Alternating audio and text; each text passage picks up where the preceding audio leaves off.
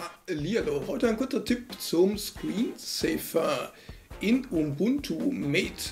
Nun, der normale Bildschirmschoner von Ubuntu Mate gibt nicht so viel her, ne? da gibt es nicht so viele Auswahl. Deshalb habe ich mir nachinstalliert den X Screensaver. X Screensaver nachinstalliert.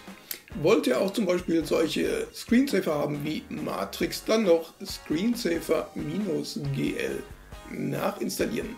Dann habe ich mal geguckt, wo liegen denn diese Screensaver dann? Ne? Wo liegen die dann? Und wir können natürlich den Screensaver hiermit aufrufen. Hier haben wir zweimal Bildschirmschoner. Ne? Das ist jetzt der X-Screensaver. Dort sehen wir dann zum Beispiel auch GL-Matrix. Aber diese GL-Matrix zum Beispiel oder diese End Spotlight sind separate Programme, habe ich gerade gesehen. Separate Programme. Ne? Unter User Share Application sehen wir die entsprechenden Desktop-Starter, zum Beispiel für GL Matrix. Öffnet die mal in einem Editor. Dort sieht man nämlich dann den expliziten Pfad, welches Programm aufgerufen wird, gegebenenfalls mit Übergabeparametern. Ne?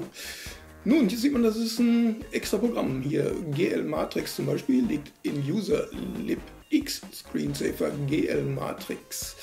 So, und da geht man da mal rein in den Ordner, ne? User lib X Screensaver. Da sehen wir dann zum Beispiel die einzelnen Programme, genauso wie ich gerade End Spotlight gestartet habe, könnte man dann zum Beispiel GL Matrix als separates Programm nochmal starten. Ne?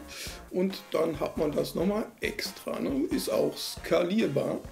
Sehr schön, äh, wenn ich denn die richtige Ecke erwische, damit wir da mal gucken können. Ja, so. Ne?